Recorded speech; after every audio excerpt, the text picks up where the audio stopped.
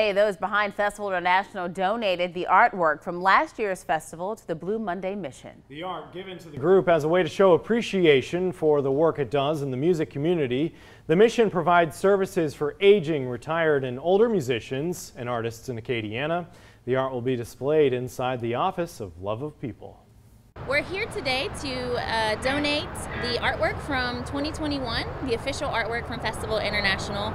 Um, we chose to donate it to this nonprofit because we stand behind their mission, which is to support and offer services to retired and elderly musicians, which obviously is so important to our culture here in Lafayette.